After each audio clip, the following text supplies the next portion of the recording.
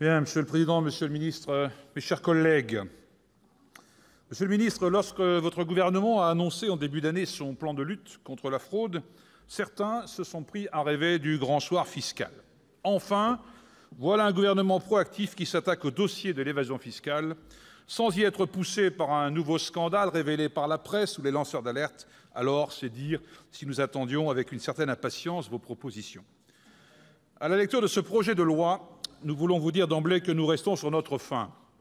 Ce texte est encore fortement marqué par une forme d'indulgence à l'endroit des fraudeurs fiscaux. Ce projet reste très modeste dans ses ambitions, se contentant pour l'essentiel d'aménagements à la marge, de modifications cosmétiques et d'un renforcement des sanctions fiscales administratives qui s'inscrit avant tout dans une volonté de marginaliser la poursuite pénale des auteurs de délits fiscaux, de légitime maintien d'un traitement principalement administratif de la fraude fiscale et de tenter de rendre politiquement acceptable le maintien du verrou de Bercy, qui constitue pourtant une spécificité difficilement défendable et tout à fait inacceptable pour l'ensemble de nos concitoyens. Dans ce texte, pas un mot sur les grands groupes du numérique, pas un mot sur une liste crédible des paradis fiscaux en Europe et dans le monde, pas un mot non plus sur les lanceurs d'alerte qui ont pourtant joué un rôle essentiel ces dernières années dans les révélations des scandales d'évasion fiscale, très peu de mots aussi sur la dimension internationale du sujet. Aux premières annonces du début d'année, à grand renfort de, de tambours et trompettes médiatiques, vous avez annoncé la création d'une police fiscale une nouvelle équipe de 30 agents, 50 à terme, c'était un peu la mesure phare de ce projet. Il m'est impossible, à ce stade, de ne pas rappeler ici les 38 000 suppressions d'emplois décidées par les gouvernements successifs depuis 20 ans. C'est le chiffre que donnait le 6 juin en commission des finances M. Bruno Parent, le directeur général des finances publiques, lors de son audition. Et quoi que l'on puisse en dire, ces suppressions d'emplois ont des conséquences directes sur les conditions d'exercice du contrôle fiscal.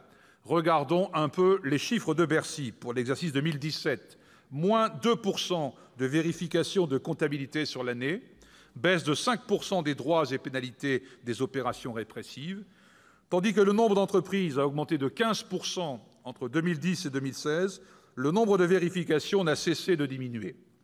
Et pendant que l'on parle de lutte contre la fraude fiscale, le taux de couverture des services du contrôle fiscal sur les entreprises recule de 22 en seulement quelques années.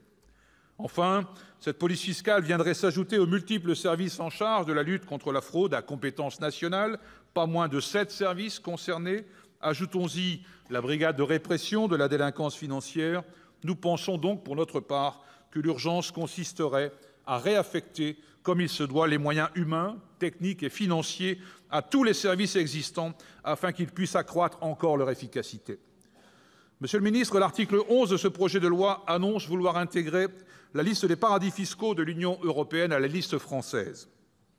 Cette phrase pourrait prêter à sourire si elle ne traitait pas d'un sujet aussi grave pour les finances publiques. Pour mémoire, rappelons la maigreur de la liste française qui comporte sept noms le Botswana, Brunei, le Guatemala, les îles Marshall, Nauru, Niue et le Panama, ce dernier État ayant été rétabli en catastrophe en avril 2016 au lendemain des révélations fracassantes des Panama Papers par le Consortium international des journalistes d'investigation. Quant à la liste noire commune de l'Union européenne telle qu'établie au 23 janvier 2018, elle comporte huit noms, dont Guam, Samoa et Palaos, qui fut cité tout à l'heure par notre rapporteur général. Cette liste est véritablement celle des paradis perdus. Aucun État membre de l'Union européenne n'y figure par décision politique. Et pourtant, la planète évasion fiscale y tourne très bien. Depuis 2016, année de la révélation de l'affaire dite LuxLeaks, dénonçant ces accords fiscaux très avantageux pour les grands groupes, le Grand-Duché du Luxembourg a conclu 599 accords fiscaux de ce type, tout comme la Belgique, voisine d'ailleurs, qui en a signé pour sa part 1081. Au sein de l'Union européenne, la multinationale Apple, durant la période 2015-2017, a payé des impôts à des taux compris entre 1,7 et 8,8 les spécialistes estiment que Apple a pu ainsi éviter de payer à l'Union européenne jusqu'à 21 milliards d'euros. Ce texte nous laisse sur notre faim également, compte tenu du maintien du verrou de Bercy, bien entendu. Nous avons vraiment le sentiment que Bercy s'agrippe à son pouvoir. Une exception française qui, au fond, institue une forme de justice à deux vitesses. On nous rétorque invariablement que le dispositif actuel est plus efficace en termes de montant et de rapidité. Cela reste à vérifier, bien évidemment. Quand une présomption se fait jour, elle ne peut être établie qu'en recourant à des moyens coercitifs qui ne peuvent, dans un État de droit, être autorisés que dans le cadre d'une procédure judiciaire. C'est ainsi qu'il peut arriver que des indices ne sont ni traités ni transmis à la justice. Pour véritablement rétablir la confiance chez nos concitoyens, l'heure est à la transparence et à la justice. Mes chers collègues, M. Bruno Le Maire, ministre de l'économie, déclarait à l'Assemblée nationale le 6 novembre dernier, au lendemain des nouvelles révélations des Paradise Papers, que l'évasion fiscale est une attaque contre la démocratie. Il est très regrettable que ces propos n'aient pas été suivis d'effets véritables.